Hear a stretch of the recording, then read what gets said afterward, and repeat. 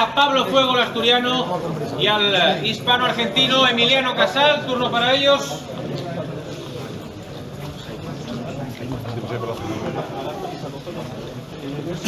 Emiliano Casal. En primer lugar,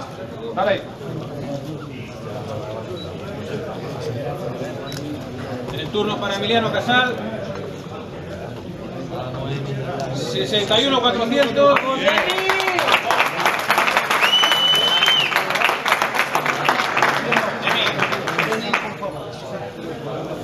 Quitar de rojo de una buenísima.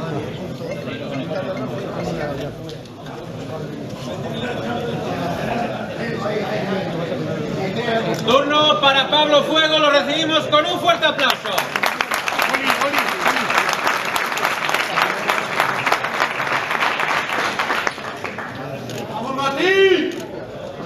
Un abrazo. 62. 62 kilos, también límite pactado.